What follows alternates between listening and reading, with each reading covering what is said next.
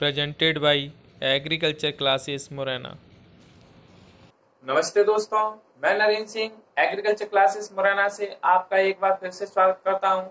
आज मैं आपके लिए एक नया वीडियो लेकर आया हूँ और उसमें मैं आपको पढ़ाने वाला हूँ फ़सल उत्पादन फ़सल उत्पादन का तीसरा चैप्टर का आज लास्ट वीडियो है और उसमें इम्पोर्टेंट प्रश्न है जो आज वो मैं आपको बता रहा हूँ कौन कौन सी चीज़ें हैं जो ज़्यादातर एमपी बोर्ड में पूछी जा सकती हैं तो उनके बारे में आज हम देखते हैं। इनमें से आपको शायद कोई प्रश्न मिल जाए इस बार।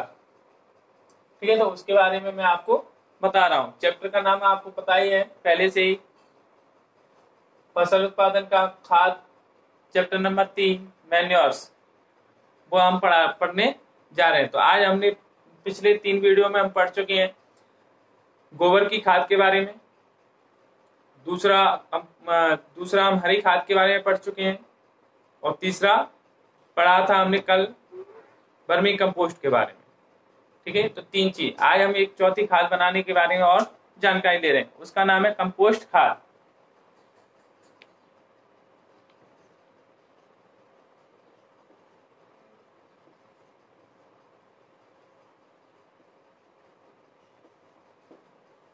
कंपोस्ट खाद के बारे में आज हम जानकारी ले रहे हैं कि कंपोस्ट खाद क्या होता है। तो देखते हैं कंपोस्ट खाद के बारे में। कंपोस्ट खाद होता क्या है? पहला प्रश्न बनता है कि कंपोस्ट खाद कंपोस्ट खाद कहते किसे हैं? तो कंपोस्ट खाद वह खाद होती है जिसमें घर का कूड़ा करकट, मनुष्यों का मल पदार्थ, पशुओं का गोबर और साथ ही साथ पेड़ पौधों के जो अवशेष होते हैं, उन सबको अच्छी तरीके से सड़ाकर जो खाद तैयार की जाती है, उसी को हम क्या कहते हैं? कंपोस्ट खाद कहते हैं। तो आपको समझ में आया होगा। दोबारा से मैं एक बार फिर रिपीट कर रहा हूँ। कंपोस्ट खाद किसे कहते हैं? कंपोस्ट खाद वह खाद होती है जिसमें घर का कूड़ा करकट, जितना भी घर का, जितना भी कूड़ा करकट निकलता है, राख वाख, चूल्हे की, वगैरह की तो वो सारी की सारी चीज़ें। दूसरा, हमारे आसपास पशुओं का गोबर है। वो मनुष्यों का मल पदार्थ भी इसमें डाला जाता है। और पेड़ पौधों के पत्तियाँ, तना खरपतवार जो अवशेष होते हैं पेड़ पौधों के, वो इसमें डाले जाते हैं। इन सभी को अच्छी तरीके से सड़ाकर जो खाद तैयार की जाती है, उसी को हम क्या कहते हैं? कंपोस्ट खाद कहते हैं। तो ये तो हो गई भाई कंपोस्ट खाद की बात। अब हम देखते हैं कि कंपोस्ट खाद बनाने की विधियाँ कितनी है तो उनके बारे में हम देखते हैं। कंपोस्ट खाद बनाने की विधियाँ।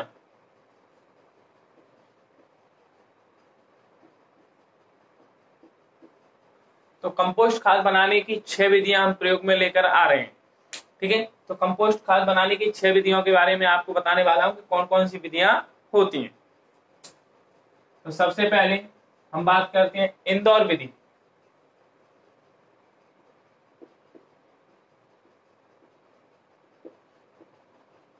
कंपोस्ट खाद बनाने की इंदौर विधि नंबर दो, बेंगलोर विधि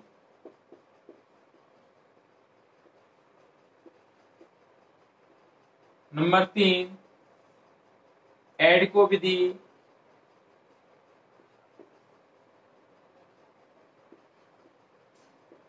नंबर चार नाडेप विधि।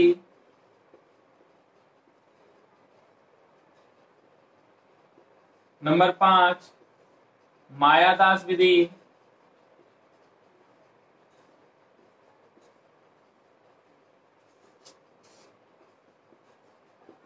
और नंबर छह वर्षा ऋतु में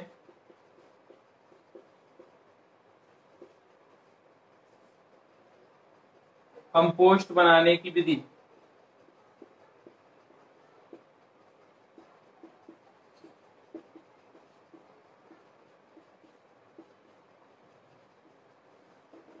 ठीक है? तो ये छह प्रकार की विधियाँ हैं, जो हम किसके लिए प्रयोग करते हैं?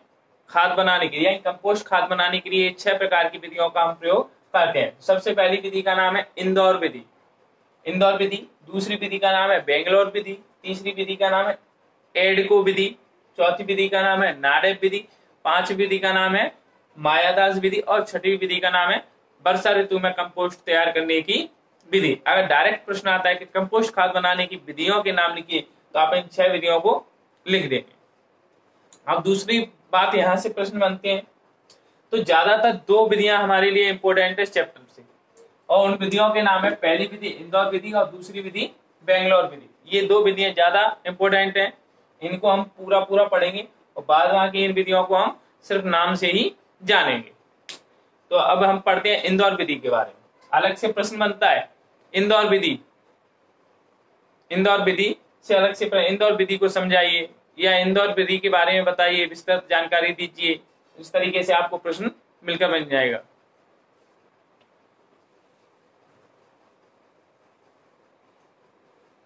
तो सबसे पहले हम इंदौर विधि के बारे में बात करते हैं। तो देखते हैं इंदौर विधि। कंपोस्ट खाद बनाने की इस विधि को, कंपोस्ट खाद बनाने की इस विधि को सबसे पहले किसने विकसित किया था? डॉक्टर हावर्ड ने। हम देखते हैं, कंपोस्ट बना इंदौर विधि, कंपोस्ट बनाने की इस विधि को सर्वप्रथम डॉक्टर हावर्ड ने 1931 में विकसित किया था। इंदौर विधि से कंपोस्ट बनाने की यह विधि किसने विकसित की थी? डॉक्टर हावर्ड ने कब विकसित की थी? 1931 में विकसित की थी और कहा की थी? तो इंदौर में की थी। तभी इसी विधि का नाम इंदौर विधि रखा गया। ठीक है तो यहाँ तक समझ में आया। अब आगे चलते हैं कि भाई, इस खाद के गड्ढे को, इंदौर विधि के द्वारा जब खाद का जो गड्ढा बना, इस विधि से कंपोस्ट बनाने के लिए या कंपोस्ट जमा करने के लिए हम कितने आकार का गड्ढा तैयार करते हैं? तो वो देखते हैं 4.2 point two into zero point nine into zero point six metre आकार के गड्ढे बनाते हैं। इस विधि, इंदौर विधि से कंपोस्ट खाद बनाने के लिए 4.2 point two into zero into zero metre आकार के हम गड्ढे तैयार करते हैं। यहाँ पर जो गड्ढे, इंदौर विधि में जो गड्ढे तैयार किए जाते हैं, वो जोड़ियों में किए जाते हैं। जोड़े का मतलब है इस तरीके से।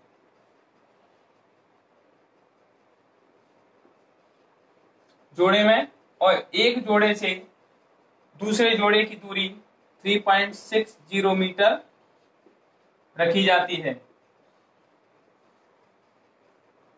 ठीक है द्वारा से हम यहाँ तक समझते हैं, कंपोस्ट बनाने की इस विधि को सन 1931 में डॉक्टर हार्वर्ड ने विकसित किया था। इस विधि से कंपोस्ट बनाने के लिए 4.2 point two into zero into zero metre नाप के गड्ढे बनाए जाते हैं, जो जोड़ियों में होते हैं, तथा एक जोड़े से दूसरे जोड़े की दूरी कितनी रखते हैं? 3.60 मीटर रखते हैं।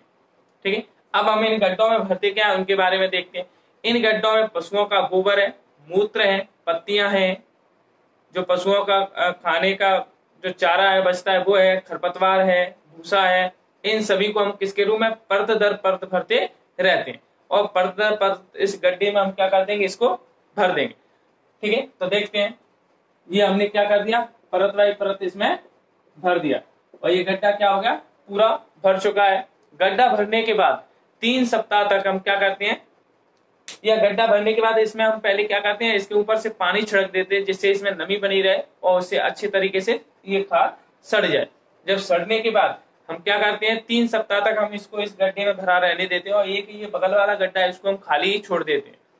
जब ये गड्ढा तीन सप्ताह, यानी लगभग इक्कीस दिन, तीन सप्ताह हो जाते हैं, तीन सप्ताह बाद हम क्या करते हैं, इस गड्ढे की पलटाई हम इसमें कर देते हैं। यानी इस गड्ढे से हम खाद को क्या करते हैं? फावड़े की सहायता से हम इसमें से निकाल कर और इस गड्ढे में भर देते हैं। अब ये गड्ढा भर गया, अब ये गड्ढा भर गया तो दो सप्ते बाद जब इस इस गड्ढे में इसमें से भर के दो सप्ते बाद क्या करते हैं? वापस उसी गड्ढे में हम फिर से पहुँचा देते हैं। और इसी प्रकार तीन से चार बार यही प्रक्रिया दोहराई जाती है और उसके बाद एक आपको एक भुरभुरी कंपोस्ट खाद तैयार हो जाती है। और इसको हम इंदौर विधि से खाद तैयार करने की विधि कहते हैं। ठीक है? द्वारा से एक बार फिर समझेंगे। कंपोस्ट बनाने की इस विधि को सर्वप्रथम उन्नीस सौ इकतीस में डॉक्टर हार्वर्ड ने विकसित किया था। ठीक है? इसमें जो गड्ढे होते हैं, वो जोड़ियों में बनाए जाते हैं और एक जोड़ी गड्ढे से दूसरे जोड़े गड्ढे की दूरी 3.6 मीटर रखी जाती है। इसके बाद इन गड्ढों में पशुओं का गोबर है, मूत्र है, पत्तियाँ हैं, घास है, खरपतवार है, भूसा है, आदि को परतों के रूप में हम भर देते हैं गड्ढे में और गड्ढों में भरने के बाद ऊपर से पानी छिड़क देते हैं। पानी छिड़कने के बाद हम क्या करते हैं? तीन सप्ताह तक उसको उसी में रहने देते हैं और तीन सप्ताह जैसे हो जाते हैं तो बगल में जो खाली गड्ढा है, उसमें हम उसमें, फावड़े की सहायता से उसमें क्या करते थे? पलट देते हैं। अब पलट दिया, ऊपर से फिर से पानी छिड़क देते हैं और दो सप्ताह तक उसी में रहने देते हैं। जब दो सप्ताह पूरे हो जाते हैं तो हम फिर वापस उस गड्ढे से, पहले वाले गड्ढे में पुनः फिर से कर दे। और यही प्रक्रिया तीन से चार बार दोहराई जाती है और इस प्रकार से हमें चार से पाँच महीने में कंपोस्ट, भुरभुरी कंपोस्ट खाद बनकर तैयार हो जाती है, जिसका हम प्रयोग खेतों में कर सकते ठीक है तो ये तो हो गई हमारी इंदौर विधि के बारे में। अब हम अगला वो देखते हैं, अगली विधि के बारे में देखते हैं।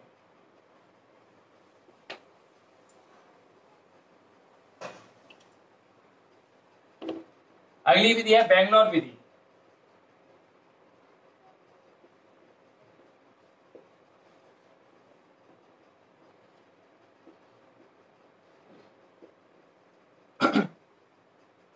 अगली विधि कौन सी है? बेंगलोर विधि के बारे में पढ़ते हैं। तो कंपोस्ट बनाने की इस विधि को सी एन आचार्य ने बेंगलोर में विकसित किया था। इसलिए यानी बेंगलोर कंपोस्ट बनाने की इस विधि को किसने विकसित किया था? सी एन आचार्य। सी एन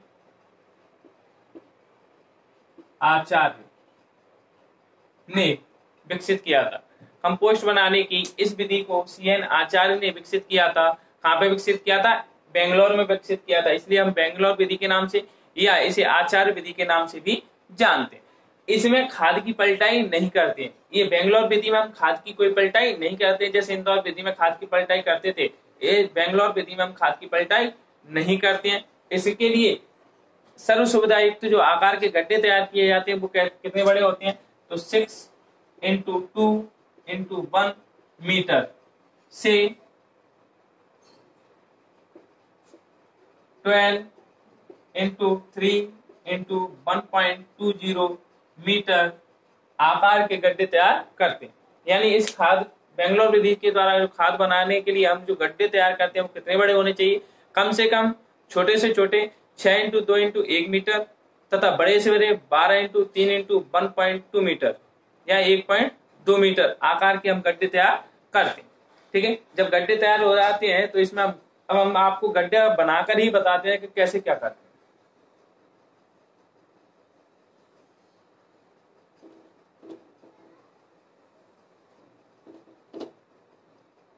ये हमने गड्ढा बना लिया है। अब इस गड्ढे में हम क्या करते हैं? तो देखें, सबसे पहले हम इसमें घास फूस की परत डालते हैं। जो जितना भी खरपतवार, जितने भी घास फूस होते हैं, उन सब की हम 20 से 25 सेंटीमीटर मोटी परत डालते हैं। यहाँ लिख देते हैं, घास फूस। कितनी सेंटीमीटर की मोटी परत है? तो 20 से 25 सेंटीमीटर। यानी 20 से 25 सेंटीमीटर। सबसे पहले नीचे तलीम हम क्या डालते हैं? घास फूस डालते हैं। इसके ऊपर पाँच सेंटीमीटर मानव मलमूत्र डालते हैं। इसके ऊपर हमने क्या डाल दिया?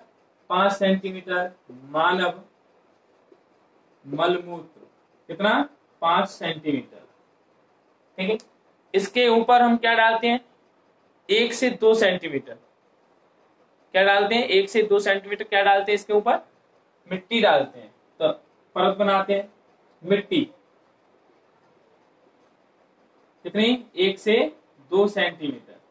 तो एक से दो सेंटीमीटर ऊँची हमने क्या बना ली? परत बना ली। अब ये तीन चीज़ें ही हमारे पास, और इनको हम क्या करते हैं? जब तक गड्ढा हमारा ज़मीन से 30 सेंटीमीटर ऊंचाई तक न भर जाए, इनको हम क्या करते हैं? रिपीटेशन इनका करते रहते हैं। यानी हमने पहले क्या डाला था? घास फूस, फिर हम डाल देंगे घास फूस। फिर हम क्या डाल देंगे? मानव मलमूत्र डाल देंगे, फिर मिट्टी डाल देंगे। इस तरीके से क्या करते रहते हैं? परत बाई परत हम कहाँ तक भरते रहेंगे? ज़मीन से 30 सेंटीमीटर की ऊंचाई तक हम इसको भर देंगे। जब ये गड्ढा भर जाता है तो इसके ऊपर हम क्या डाल देते हैं? 2.5 सेंटीमीटर यानी ढाई सेंटीमीटर मिट्टी की परत भी लगा देते हैं।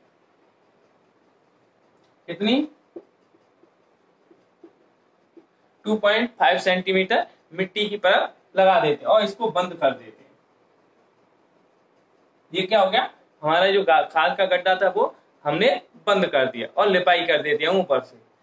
क्यों करते हैं ये? मिट्टी क्यों डालते हैं ऊपर से और लिपाई क्यों करते हैं?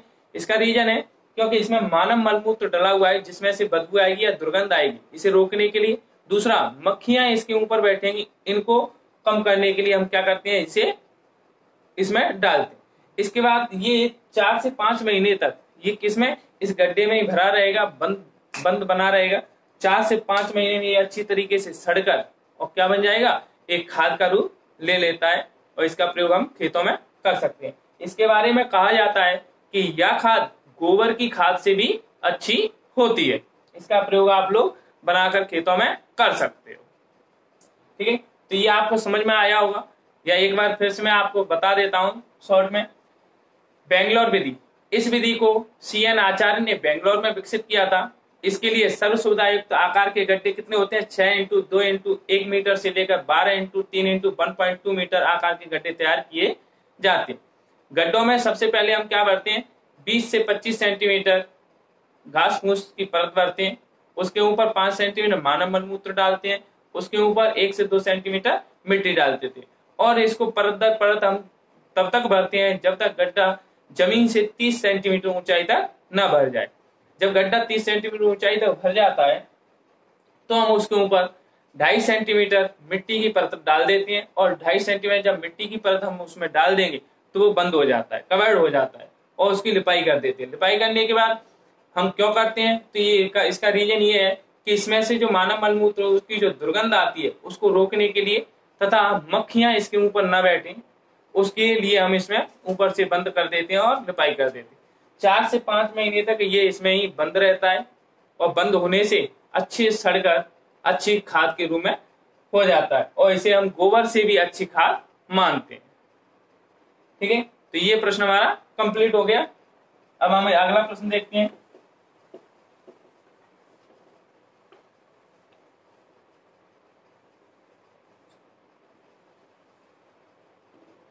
अगला प्रश्न है हमारा, कंपोस्ट खाद। बनाने की इंदौर विधि तथा बेंगलोर विधि में क्या अंतर है? तो वैसे तो हम यहीं से बना सकते हैं। इंदौर विधि हमने पढ़ाई है, बेंगलोर विधि भी पढ़ा है। उसके बारे में मैं आपको बता देता हूँ। तो कंपोस्ट खाद बनाने की इंदौर विधि तथा बेंगलोर विधि में अंतर बताइए। तो ये तो आपका रहा इंदौर विधि। और इधर लिखते हैं हम बेंगलोर विधि।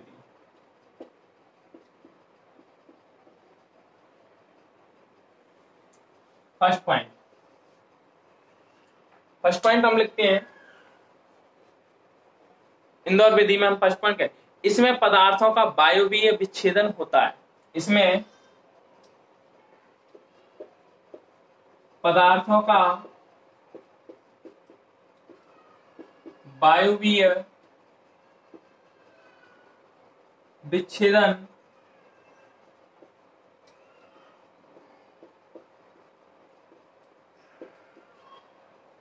होता है। इसमें पदार्थों का पदार्थ मतलब जो हमने मटेरियल गड्ढे में डाला था, इंदौर विधि में, उनमें उनका जो विच्छेदन विच्छेदन का मतलब टूटना। टूटने का कार्य किसके द्वारा होता है? वायु के द्वारा। वायु यानी हवा के द्वारा होता है। क्योंकि बार बार पलटाई करते हैं, जिससे हवा उनकी, गैस उनके अंदर रहती है उससे इसका कणों का टूटने का कार्य होता रहता है। दूसरी साइड में, इसमें बेंगलोर विधि में क्या होता है? इसमें प्रथम सप्ताह, इसमें प्रथम सप्ताह वायुवीय विच्छेदन तथा इसके बाद अवायुवीय विच्छेदन।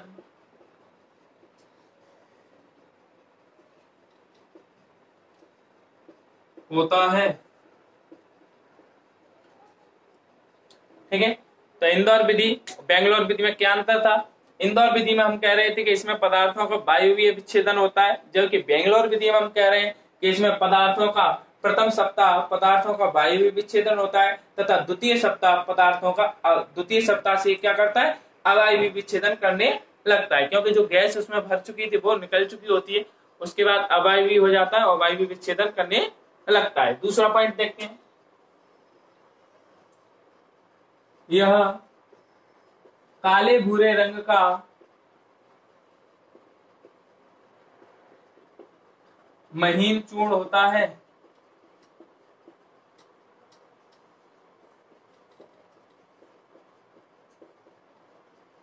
जो इंदौर विधि के द्वारा जो खाद्यान्न होता है, वो काले भूरे रंग का महीन चूर्ण के रूप में पाया जाता है, क्योंकि हम फावड़ों की, फावड़े की सहायता से इधर से उधर करते हैं तो ये क्या हो जाता है, बिल्कुल भुरभुरा हो जाता है, महीन चूर्ण के रूप में हो जाता है। जबकि इसमें जो इन बेंगलोर विधि के द्वारा जो खाद प्राप्त होता है, वो महीन चूर्ण के रूप में प्राप्त नहीं होता है। यह महीन चूर्ण के रूप में नहीं होता है। ठीक है? तो यह मही चूर के रूप में नहीं होता है। तीसरा पॉइंट देखते हैं। पौधों को इसके पोषक तत्व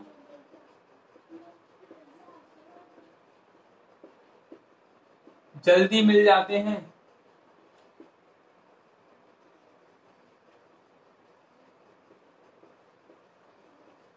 जो इंदौर विधि द्वारा जो खाद बनाई जाती है वह पौधों को पौधों को जो पोषक तत्व उस खाद में होते हैं, वो जल्दी से प्राप्त कर लेता है। जबकि इसमें तत्व यानी पोषक तत्व देर से प्राप्त होते हैं।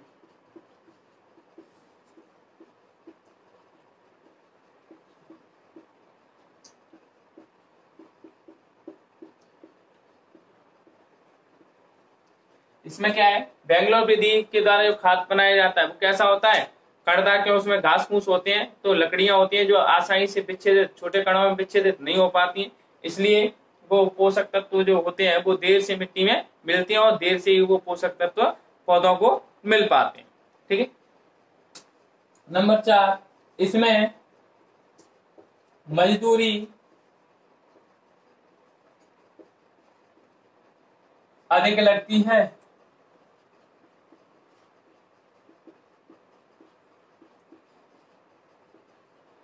इसमें मजदूरी कैसी लगती है? अधिक लगती है। क्यों लगती है? क्योंकि इसमें मजदूर, यानी खाद की पलटाई की जाती है, इसलिए इसमें मजदूरी कैसी लगती है? अधिक लगती है। इसमें मजदूरी कम लगती है।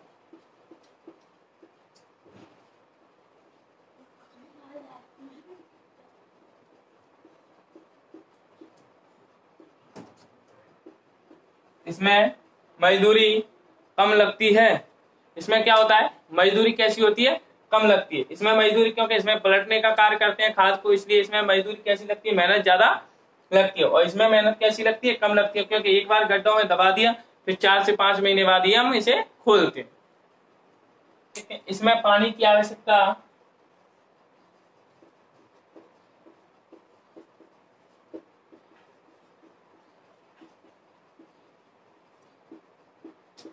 होती है।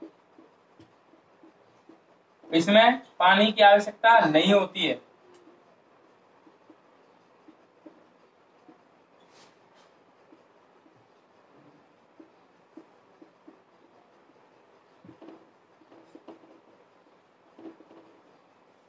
इसमें क्या है कि जब खाद की पलटाई करते हैं तो इसे सड़ाने के लिए हम पानी डाल देते हैं और इसे हम एक बार बंद कर देते हैं तो इसमें पानी की आवश्यकता नहीं होती। दोबारा फिर रिपीट करते हैं।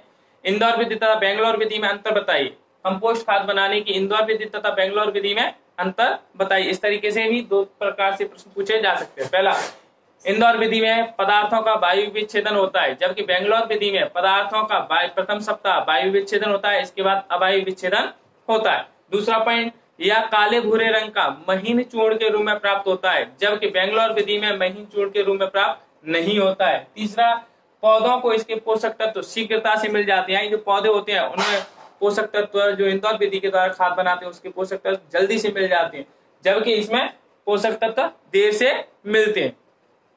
इसमें मजदूरी अधिक लगती है, यानी इसमें खाद की पलटाई करते हैं, इसलिए मजदूरी कैसी लगती है? अधिक मिल लगती है, और इसमें मजदूरी कम लगती है।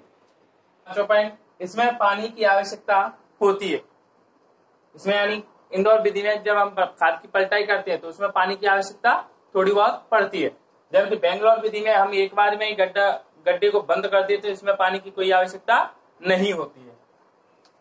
ठीक है? अगला प्रश्न देखते हैं।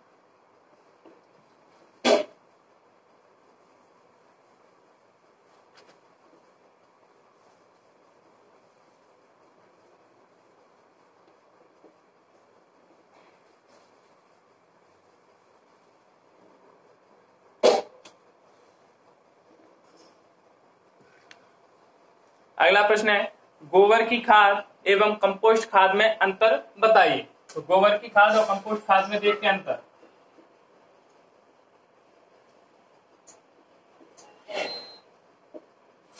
गोबर की खाद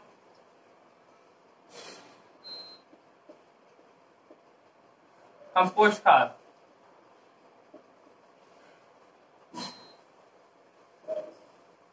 तो देखते हैं गोबर की खाद और कंपोस्ट खाद में क्या अंतर? होता है। तो गोबर की खाद के लिए गोबर का होना आवश्यक होता है। पहला पॉइंट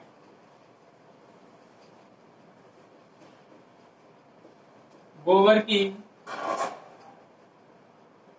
खाद के लिए गोबर का होना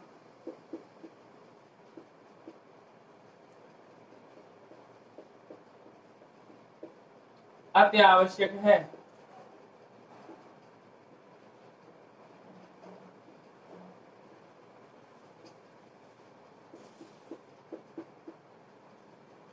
पहला पॉइंट गोबर की खाद में क्या लिखा? कि भाई गोबर की खाद बनाने के लिए गोबर का होना बहुत ज़रूरी है। जब तक गोबर नहीं होगा तो गोबर की खाद नहीं बना सकते। इसमें गोबर का होना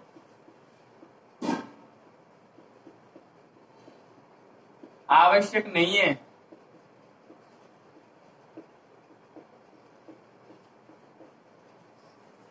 कंपोस्ट खाद में गोबर का होना आवश्यक नहीं है। दूसरा पॉइंट लिखते हैं। इसमें वानस्पतिक अंश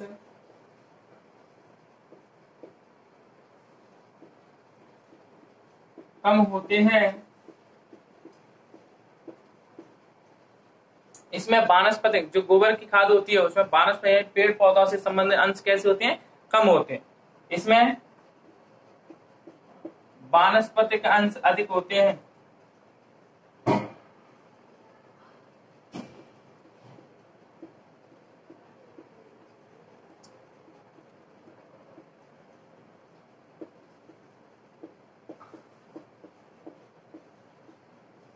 यही ज़्यादातर पूरा का पूरा जो अधिकांश भाग होता है, वो किसका होता है?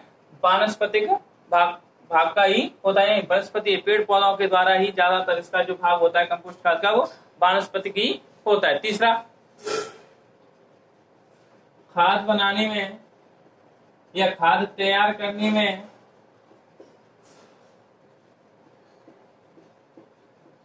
तीन महीने का समय लगता है।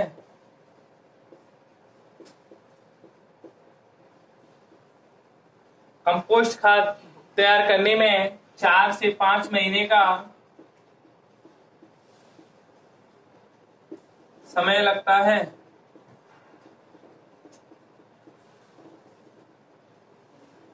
यानी गोबर की खाद तैयार करने में तीन महीने का समय लगता है, जबकि कंपोस्ट खाद तैयार करने में चार से पाँच महीने का समय लगता है। नंबर चार, इसे तैयार करने में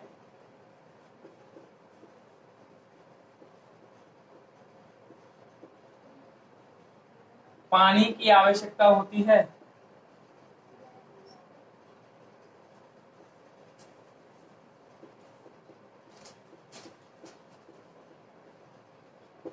गोबर को अच्छी तरीके से सड़ाने के लिए, गोबर की खाद बनाने के लिए हमें बार बार पानी छिड़कना पड़ता है। अच्छी खाद लेनी है तो। इसमें पानी की आवश्यकता नहीं होती।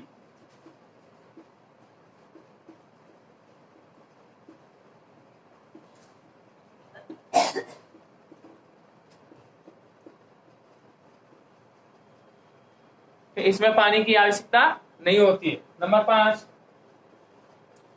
जिसके पास पशु होते हैं, वही किसान इसे तैयार कर सकता है।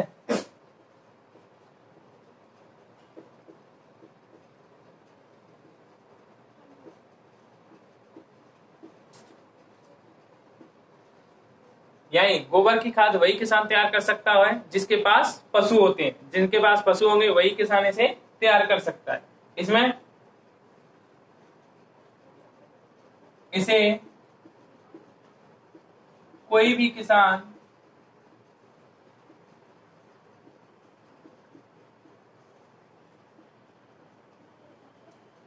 तैयार कर सकता है।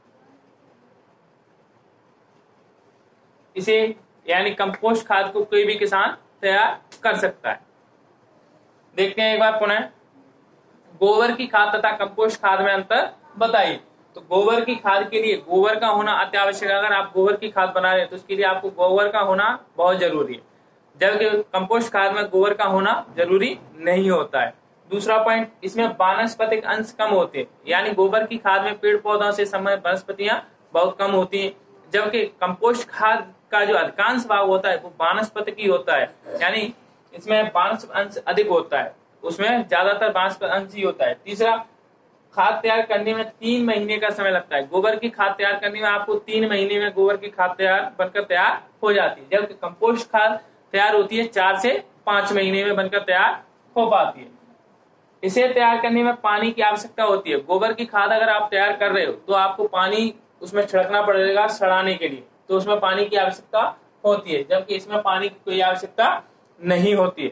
अगला पॉइंट है, जिसके पास पशु होते हैं, वही इसे तैयार कर सकता है, या वही किसान इसे तैयार कर सकता है। तो यानी जिन लोगों के पास पशु होंगे, वही किसान क्या कर पाएगा? गोबर की खाद तैयार कर पा, कर पाएगा बना नहीं कर सकता।